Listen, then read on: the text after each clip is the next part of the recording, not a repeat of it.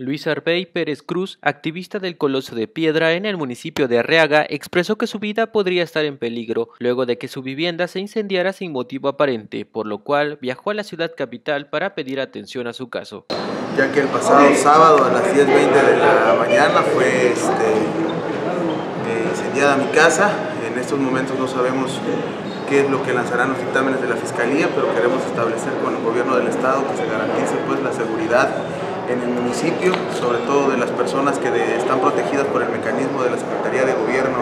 del Gobierno Federal. Dijo ser compañero del activista y defensor de los derechos humanos Sinar Corso, asesinado a principios del mes pasado, a lo cual señaló que los mecanismos de protección para los activistas y en general para la ciudadanía parecen no funcionar. Eh, Sinar Corso era nuestro compañero, nuestro, nuestro amigo. El día viernes a las 9 de la mañana yo lancé un comunicado, una convocatoria abierta hacia la ciudadanía para conformar el Consejo Municipal del Ayuntamiento de Arriaga, ya que en estos momentos pues, el ayuntamiento o el municipio se encuentra este,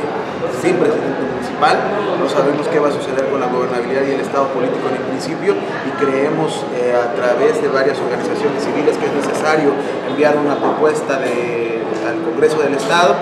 tenemos entendido que se asunará el día de mañana o el día jueves en torno al caso. Y a las 10.20 de la mañana este, me avisan que la casa este, se incendió prácticamente en su totalidad.